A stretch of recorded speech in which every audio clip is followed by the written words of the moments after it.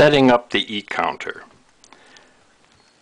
The e-counter software runs minimized or open onto on the screen. Push the e-counter, configure the software. You can run 16 different e-counters together through a hub and you can define each port separately. So we can have probes in one port, encoders in the other, you give it an IP address so your computer recognizes it. It can be an inch pitch, metric pitch. You can set directions and whatever resolution your gauge is working at. That's basically the configuration page. Then, with the eCounter software, to do the saving of the data, you can save the data. Let me pull that down.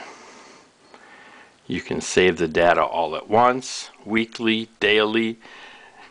Here we can set it up to, to force it right into an Excel spreadsheet. It, uh, the way the software man describes is that when you latch the data or tell it to send the data, it basically opens up a spreadsheet right on the screen and forces it right into it you can actually write three Excel formulas right here in the data collection part of it.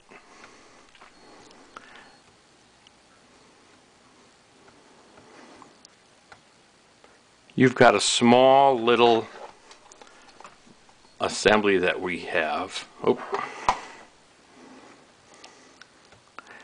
that lets you address each pin. There's four inputs.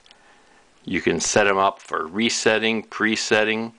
If you would want to come in and rotate this shaft, we can actually hold the max data, hold the minimum data.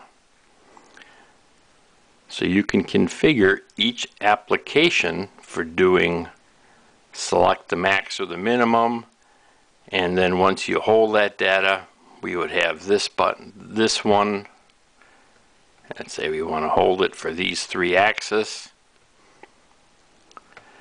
Then we want to release the data after you've sent it to the computer.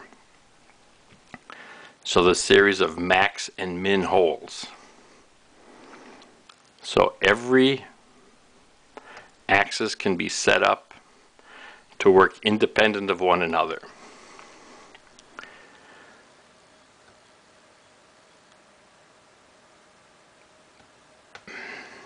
Here we can add, if you'd want port 1, and we want to add it to subtract it from port 2, and that's what would display on probe number 1.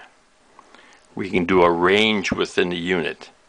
If you'd have three units, it will define the range of those three probes.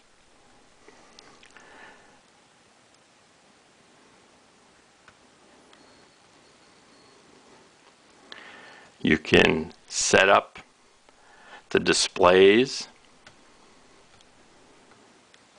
for what resolution you want them.